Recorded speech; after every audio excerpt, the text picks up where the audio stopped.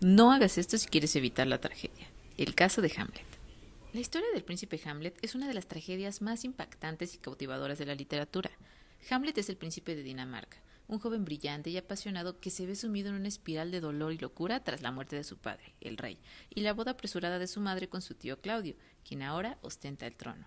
Hamlet, sumido en una profunda tristeza, comienza a tener visiones de su padre y a sospechar que su muerte no fue natural. Decide entonces investigar por su cuenta y descubre que su tío Claudio es el responsable del asesinato de su padre. A partir de este momento, Hamlet tomará decisiones que tendrán terribles consecuencias.